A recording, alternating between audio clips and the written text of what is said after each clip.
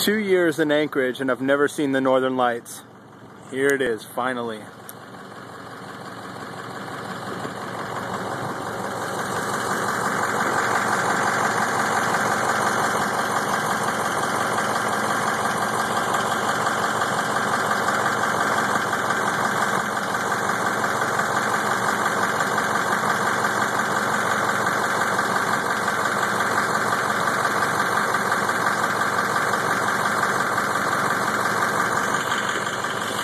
Oh yeah.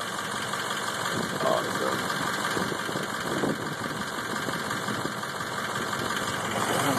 Right.